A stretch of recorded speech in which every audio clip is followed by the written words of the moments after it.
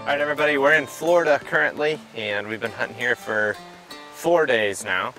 We have not had any action, but some of the people that we've been talking to, some of the other hunters have been having some action. We talked to two different hunters today uh, that shot turkeys, so congrats to those guys. Hopefully our time will come and we'll start running into some turkeys. But this is a video from last season. It was May. Uh, Keith and I had been hunting in Maryland and we called up our buddies Dan and Cam. Dan and Cam are two guys that I've known for a long time. I met Dan in college through the Ohio University Fishing Club and we've been friends since. We've been hunting together for a long time. So those guys have been pestering me about going down there for a while. So uh, it seemed like the perfect opportunity. So we met up with them, kind of covered some ground driving and scouting on foot the first two days that we were down there Started running some turkeys and then ultimately on day three had a little bit of luck. So hope you guys enjoy this video. We're gonna keep after them in Florida here and you'll be seeing some of that action here soon. And I'm feeling as fresh as I was on day one. I'm gonna be honest with y'all. I'm sorry that y'all feel like dog I don't think there's gonna be anybody out today. We got a lot of rain, like a lot of rain. Weren't expecting it to be this rainy this morning, but it's to keep a lot of people out of the woods and it's probably to put turkeys in a lot of places that we can see them pretty easily. Listen. You hear them over these raindrops. You know, talk about your allergies? Pretty miserable, really. It's pretty much the worst it's been in my life. Woke up this morning and couldn't really breathe or see. It'll make it tough. Hey, we're both just still out here though, so this is really what it's about. Just gonna stick to strict car filming. all you can do is all you can do. Hey, it's all you can do. I think we'll leave her alone, we'll mark her and we'll come back. Good news is, they're down. They're down and they're gonna be standing in the wide open.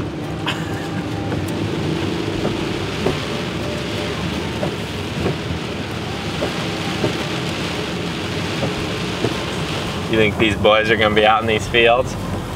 Yeah, just out here in the unkillable. Just right there. Really? Pretty sure.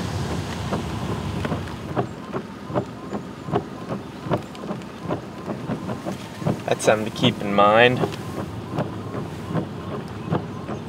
One hand laid down because you don't like it. At some point we're gonna have to just go hunting or I'm gonna go crazy, you know what I mean? I don't really like doing this. I just don't know what to do about this pouring rain.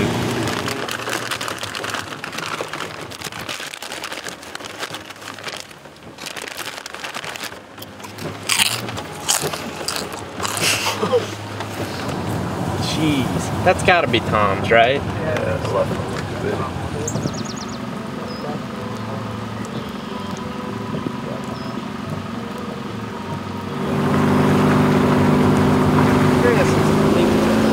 just get on the edge of that field.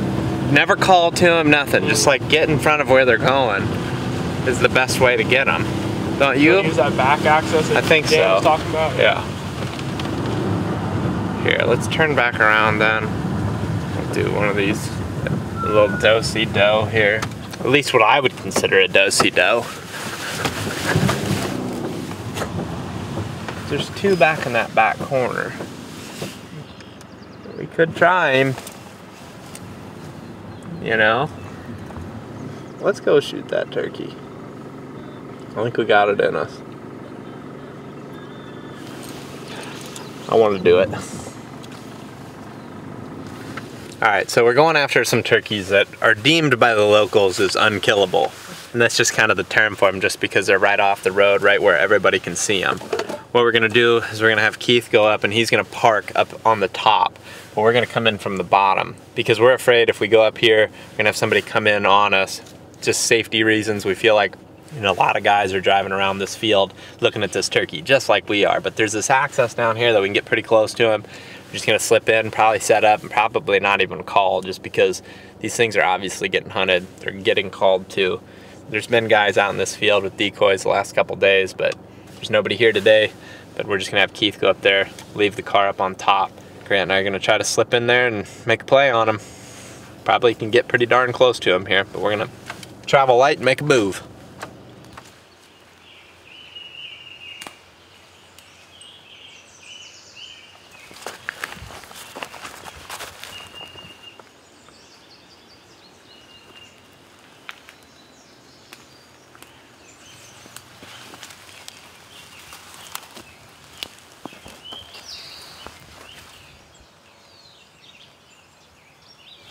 Made it pretty clear we were coming over here, I think. I thought we did.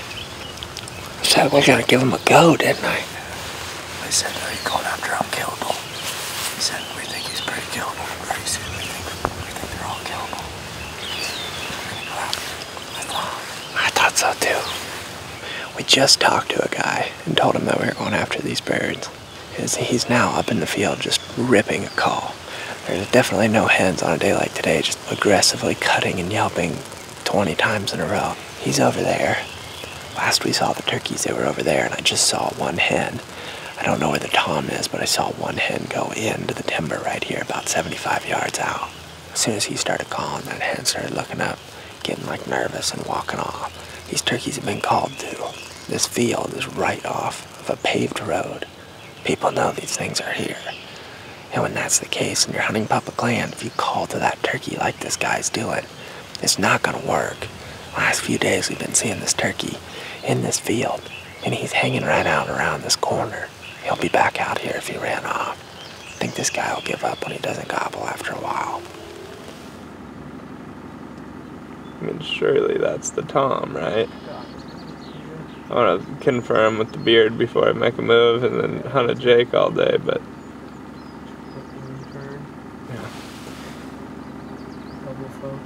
oh, he just did a snoot shake. Oh, he's fired up. My God! We just wasted a bunch of time coming out, even. I mean, they're just being miserable out there.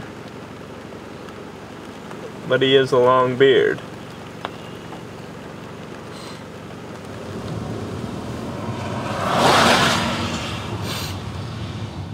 So we heard that guy calling. We heard him shoot, and I lost confidence and just basically walked right out of there. We got back to the car, got back up here on top. Turkeys are still out in the field. That guy was calling a lot, and then he just fired his gun off. So we assumed that he either shot something or he was just shooting to make them gobble. I'm not really sure what sense that makes, but they're still out there. We're not going to overthink it. We're just going to go right at a turkey that we know is there. I mean, he's obviously got hens. They're not doing a lot of moving around, but they are floating throughout that field. We think if we can cut the distance and just be hanging around where they are in their bubble, that at some point they'll probably drift close enough to that field edge that we can get a shot.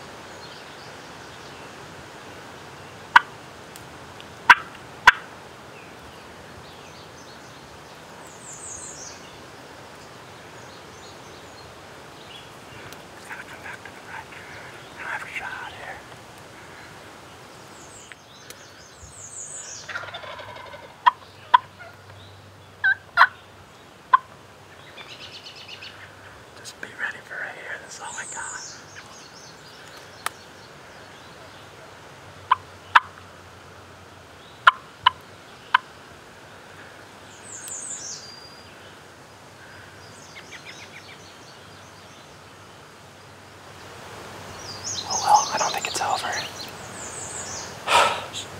Could have shot both his hands. Oh yeah. Exactly what we wanted to have happen happened. They naturally started coming back. And they went right past in gun range. I just couldn't get a shot is the simple way to put it. I never have a good shot. There's a bunch of turkeys in a group. And he was always right at the top of the hill and below. And I couldn't see his head, so I'm gonna go back around him, try to get in front of him. They keep going back and forth to these two spots, so that's what we're gonna do. We're gonna have to do it fast though.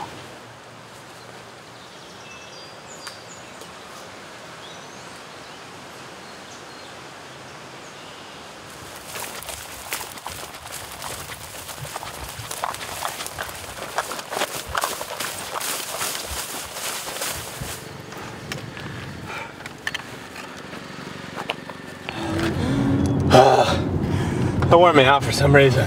Cool footage. Yeah, should be. Just got caught in a weird spot. How far was he? 35, 40 yards.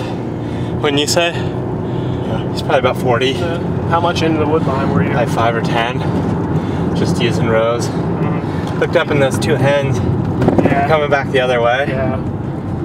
And they started cut, like clucking. Uh huh. And when they did that, he started gobbling. Really? Third time's a charm, eh?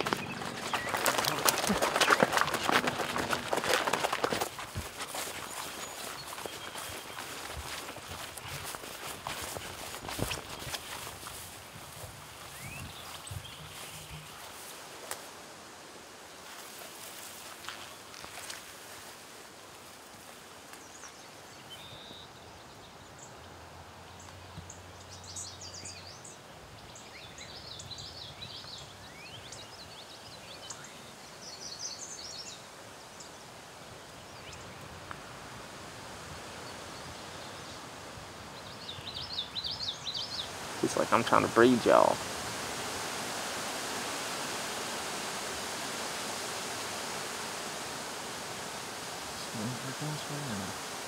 Slowly, slowly, slowly. Hen in front is headed this way. To be honest, they're all facing this way.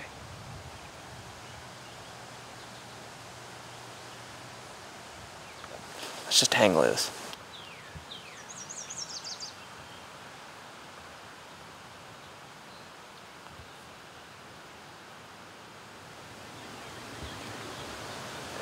Buddy, this is probably gonna work.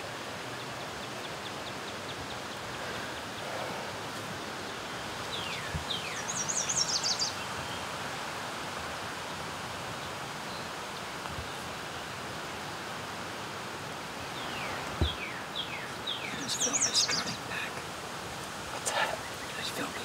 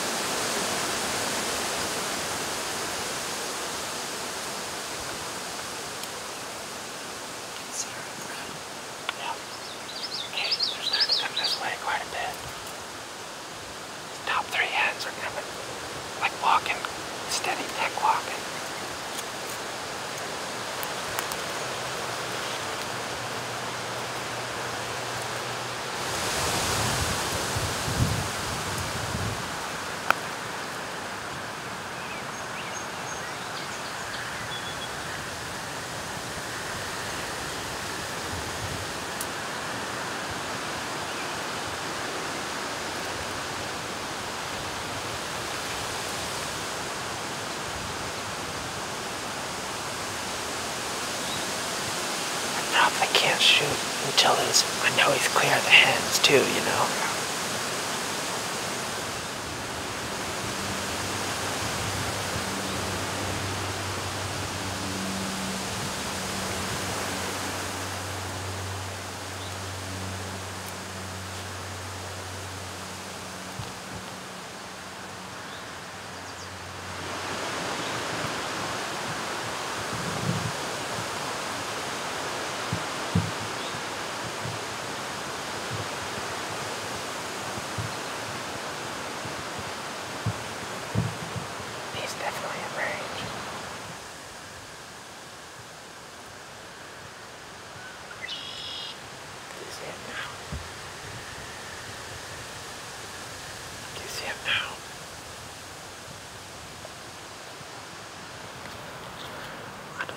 sure that there's no hens in the way, you know what I mean?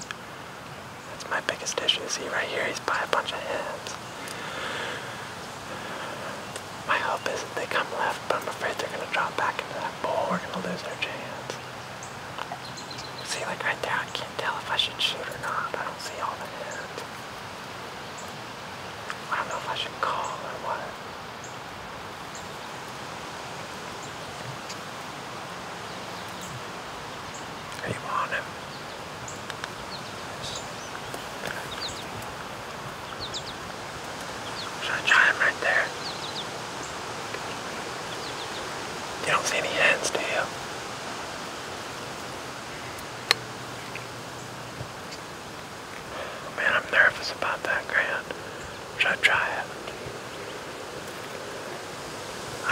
can kill him. I just can't. I'm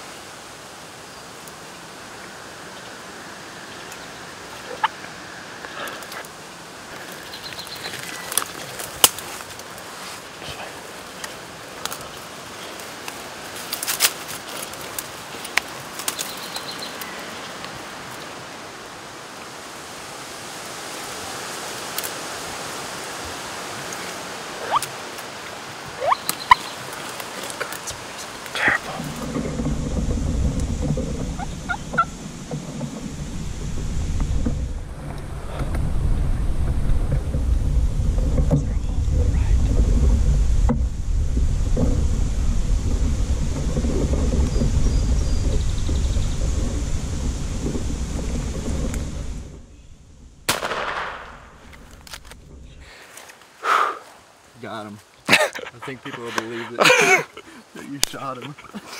Just standing there. Dude, I mean, I, I was running. He, they were about to leave. That that one drove me up the wall. That's that's my bad. I should have spoke up. Did you see him starting to poke his head up? Mm -hmm. yeah, so I cracked. And I was saying, "Are you gonna shoot him? Are you gonna shoot him?" And you couldn't hear me. I thought you were saying, you gotta shoot him, you gotta shoot him, and I was like, I know, I know. I'm trying to get the. I had a branch that went over the top of the gun. Let's go get on him. got him. Yeah, we got him. I'm gonna go get him. on him. Kill him. well, Grant and I are standing here over this turkey, and we're just Happy like, Happy and sad. yeah, just uh, like, Happy and disappointed that we could have got more on footage yeah, because there's a mis there's a miscommunication really. Mo- yeah. It worked. Yeah. I mean, the whole. I mean, it sucks, but I like it was a sweet hunt. Uh, it was super Really- fun. Really glad we got him. ultimately what it came down to is like we got to just get to a spot where we feel like they're gonna drift and we did it once i mean we got up to where we were you know 70 yards from them earlier and they came past us once didn't get a shot at them then we get to like 150 yards from them and just sat here i mean they crept for hours i'm glad we did it though hey Oh yeah. First turkey together. yeah The cool thing too is the locals have been calling this bird the unkillable bird. so when we heard that, we're like, all right, yeah, we're going. For it." we we just been watching him past couple days, and he he goes from one one point of the field to the next. And they Yeah. Just, I mean, they take hours to work back and forth. Uh. and his his trademark is the yeah everybody even knows this one missing feather. Yeah, he's all busted up. He's got a busted tail fan. And like, I've just been staring at this tail fan of him coming across there for, for a long time, boy. And he's very, very pretty turkey. I'm surprised he's as dry as he is after watching him all this morning. He, sun was looking rough this morning. Mm-hmm. All right, we got Keith here. We're gonna tell Keith the story, and we're gonna tell you the story too. So, Keith, come along with us, and we'll show you what happened. So originally we crawled into this path and we poked out and he was standing up on that top over there. And we moved in here. While they were still way out there, I kind of dug out a little hole into here. Come on into our set. All right, so I was sitting right here for a while. This is probably first two hours and 55 minutes For a while. of the three hours. so many different times sitting here. We're like looking at the different angles. I had the GoPro here facing me. It's like we had all kinds of time. So sure enough, what happens? They all end up right here. I'm watching him through this gap right here, and there's hens all around him, and he's strutting, and I can tell he's like easy range. But I mm-hmm. just got I got really no good shot, so I'm not too worried about it. But then it starts getting to a point where it's like, okay, something might go wrong. So eventually we start getting kind of panicked, and you start to make the move. Yeah. Well, I had him like, I could, I could see him when I was like this. But I've got the camera, got that whole big rig there. Like, just can't get on him. I could barely see his, the tip of his fan. So I was like, Zach, if you want me to film this, I'm gonna have to move. And the thing is strutting at 30 yards facing us, and I just see his red head. That was freaking beautiful. Your gun's on him, and I'm picturing the shot from behind you. So I was like, think I can move behind you? Because the wind was cranking. I came up like this, real slow. Zach kept saying, careful. Which is fair. He did have shoes on at Yeah, the I did time. have- Did have shoes on. I got, then I got to right here, over the shoulder, on him. Beautiful footage. Oh. Hens around. There's just like hens and heads and bodies everywhere, and it's like I've got a shot at him, a chipper, and I know he's right down the gun barrel, but it's like I can't do anything about that. Yeah. So eventually, sure enough, he starts spitting and drumming more, and he starts like shifting them away. I'm like, okay, we're gonna have to go to the left. So I moved my gun down, got it around this stuff back to the left, and I'm facing him right here. And all those hens are working this way. He's finally cleared the hens. Mm-hmm. But like, there's now this stuff's in the way, and no matter how hard I push against this stuff, I cannot get my gun far enough over to get on him. And like, I just can't, I can't push it enough. And you'll see, you can see it in the GoPro because I've watched the GoPro. I'm pushing as hard, with digging my heels into the ground, pushing to try to get a shot at him. And like now they're leaving. Like not because they're nervous, just because that's that's what they're doing. Yeah. So I start like calling and stuff. He does not even he doesn't even flinch. I'm like, Hens looked, but he he was just strutting, wasn't he? he was Didn't even look. scratching. He was scratching, then he would strut. A couple times he even gave me a chance, but his fan was in the way. So then I thought, well, the only way I'm gonna get a shot is if I come back through this gap. So I got like right to here, and I broke something. and when I broke something, he popped his head up and was all the way up. Mm-hmm. And then one of these, this one specifically, was over my bead. In my head, he's going, You gotta shoot him, you gotta shoot him, you gotta mm-hmm. shoot him. So I'm thinking, like, he's on him. And I'm, mm-hmm. I real quick, like, snap that thing, break it over my barrel, pop my gun up, center the bead, drop him. He when he looked up like that, I'm on him, but I'm not recording. I'm waiting for. I've got one Oh, minute okay. left. What I was saying instead of you gotta shoot him, are you gonna shoot him? So I'm waiting to hit. Oh I'm waiting to hit record so I can use my one minute. So I feel so bad about not getting it. And when he, I told him when he shot, I just like my heart sank. I see now. It's one minute. I was on him over the shoulder, framed up. I was like, "Are you gonna shoot him?" I mean, we tried, Yeah, we tried it's- real hard at that one today, and like, I mean, we even went through it like five times as a stupid thing. I feel like I dropped the ball, but like at the same time, trying not to ruin the hunt. Yeah, You know, 'cause yeah. It was, it was awesome watching him strut all the way down. Him moving, what, 120 yards maybe, took three hours. All right, so these guys are being weird awkwardly in the background. All right, we're gonna get out of here. We're gonna go back and show the bird to Cam. He just got done with work, so poor guy had to be be at work all day. So here we're gonna go celebrate with him. Big thanks to both Dan and Cam. These guys have been pushing me to come out here ever since we were in college, and I've been putting it off. And we were swinging through. Figured we'd stop on by and hunt. And then we got here and we are like, hey, this is pretty awesome. Pretty great experience here in Pennsylvania. Sure we'll be back to Pennsylvania in the future. Thanks for watching this video. Don't give Grant too hard of a time, man. He's he's really beating himself up. Don't give him too much too much uh, crap for it. But hope you liked the video. Otherwise, thanks for watching. See you on the next one.